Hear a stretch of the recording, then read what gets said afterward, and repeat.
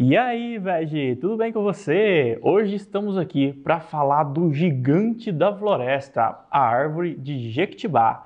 Bora?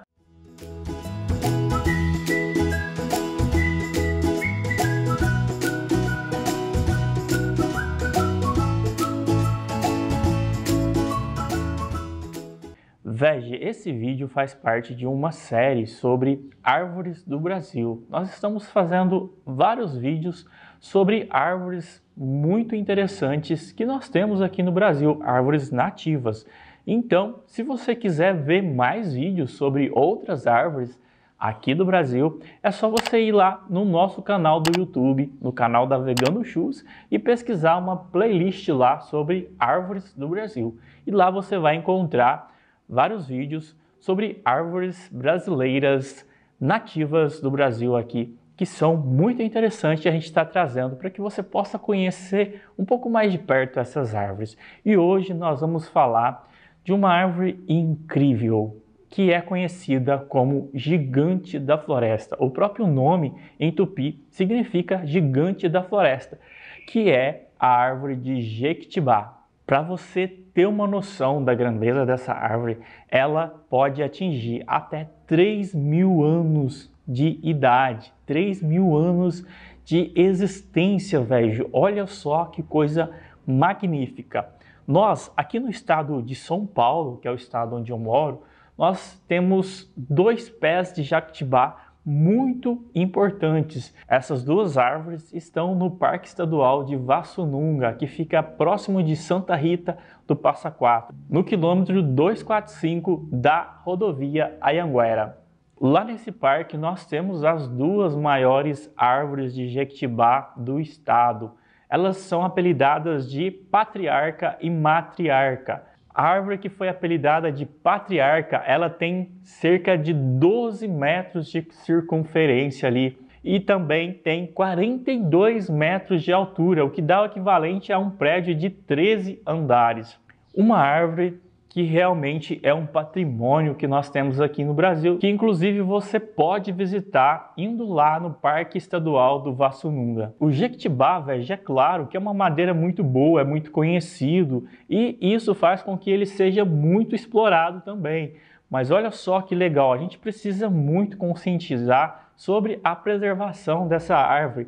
Imagine só uma árvore que consegue viver por tanto tempo. Esse jequitibá do Parque Estadual de Vassununga já se sabe que ele deve ter mais de 600 anos. Algumas pesquisas, alguns cálculos chegaram à conclusão que ele pode ter 3 mil anos, mas não se sabe ao certo. É praticamente impossível a gente ter certeza da idade de uma árvore dessa.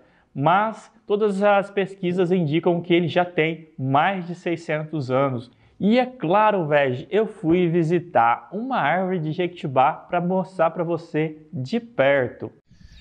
É muito difícil de conseguir mostrar o tamanho que é essa árvore e como ela tem muita vida nela. É muito difícil a gente conseguir mostrar isso com a câmera, mas vou tentar mostrar aqui para vocês. Olha só, coisa incrível. Olha só, vou dar um giro aqui em volta dela. Você vê. Realmente é, é muito grande mesmo. Cada, cada galho é muito grande, olha só. Eu não sei quantos anos essa árvore tem, mas meu pai disse que quando ele era pequenininho, essa árvore já tinha esse porte, já era desse tamanho. Então, um jequitibá pode viver milhares e milhares de anos. Imagine só a gente plantar uma árvore dessa por quanto tempo a gente vai conseguir colher resultados aí no planeta, colher resultados positivos. Então, acho incrível quando a gente consegue. A gente fala muito de destruição, como o ser humano consegue destruir, poluir o meio ambiente, mas já pensou o impacto positivo que a gente pode causar plantando uma árvore dessa? Vou andar aqui para você ver, ficar um pouco mais distante, para você ver como ela é linda e muito grande mesmo, muito grande. Vamos lá.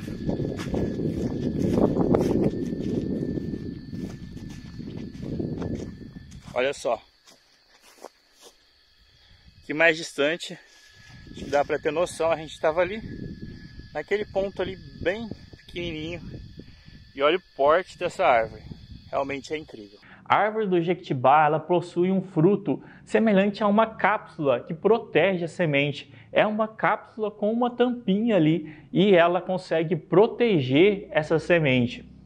Eu vou mostrar aqui para você agora o fruto dessa planta que fez o jequitibá ficar conhecido também como binga de macaco, ou seja, é, você consegue fazer aqui um, um isqueiro, é similar a um isqueiro.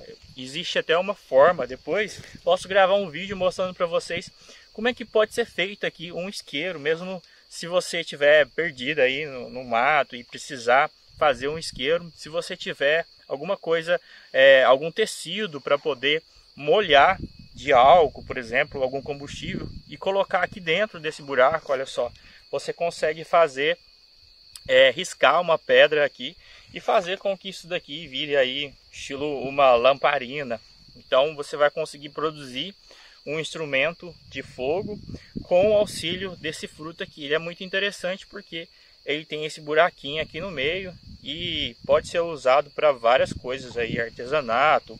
E o jequitibá, ele tem esse fruto incrível aqui. Natureza sempre surpreendendo a gente com essas formas incríveis, formas tão diferentes. Olha só, é repleto debaixo de uma árvore de um jequitibá, é repleto desses desses frutos aqui, dessas cascas de frutos, se assim a gente pode dizer.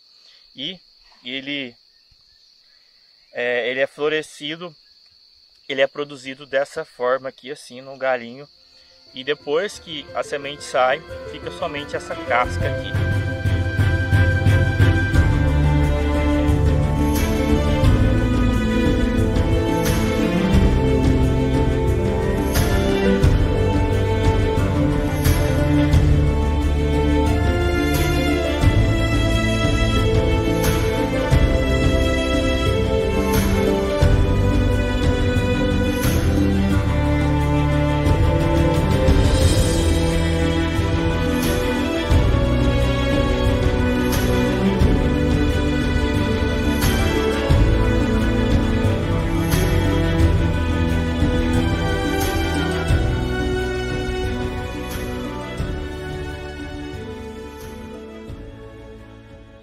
E você, velho, já conhecia essa árvore magnífica, essa grande gigante da floresta? Me conta aí se você já conhecia, se já viu. E, claro, velho, se você quiser conhecer esse fruto, se você quiser ter um aí na sua casa, você pode colocar um cupom de desconto ao comprar qualquer produto da Vegano Shoes. É só você colocar esse cupom aqui, ó, Binga de Macaco que eu posso enviar para você esse fruto, essa cápsula. Claro que já vai estar tá sem semente, porque a semente é dispersa lá no alto da árvore. Mas se você quiser conhecer ou quiser ter um exemplar desse daí, que é um fruto lindo, na verdade é só uma casca do fruto, você pode colocar esse cupom lá no momento de fechar uma compra navegando Shoes, que eu vou te enviar uma cápsula natural de jequitibá ou de binga de macaco ou pau de binga.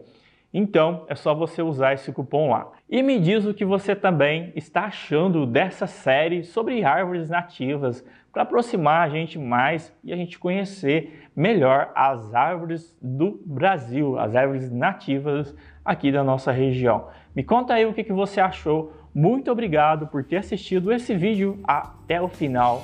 Valeu mesmo e tchau!